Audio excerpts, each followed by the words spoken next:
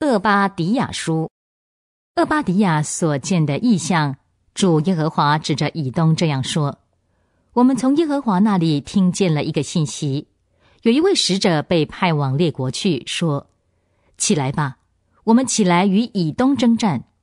看哪，我必使你在列国中成为弱小的，你必大受藐视。你心中的傲气欺骗了你，你这住在岩石的隐秘处。”居所在高处的，你心里说：“谁能把我拉下地呢？”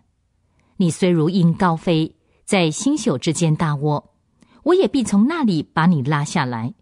这是耶和华的宣告。窃贼若来到你那里，强盗若夜间来到，岂不会偷窃直到够了呢？你将会怎样被灭绝？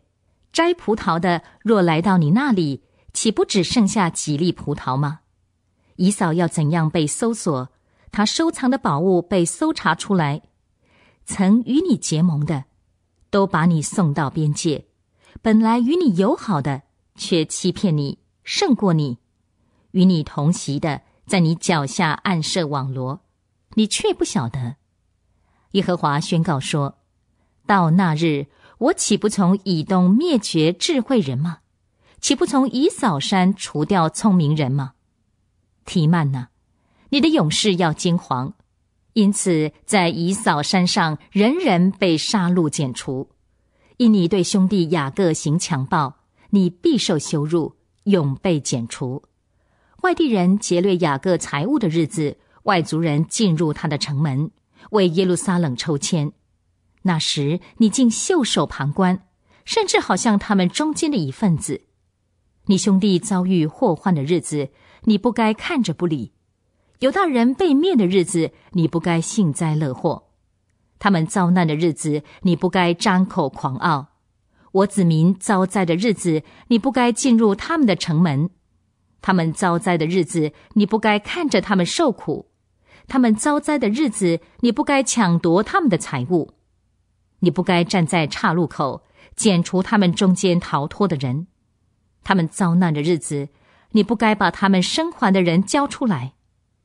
耶和华的日子临近万国了，人必照你所行的向你施行，你的报应必归到你的头上。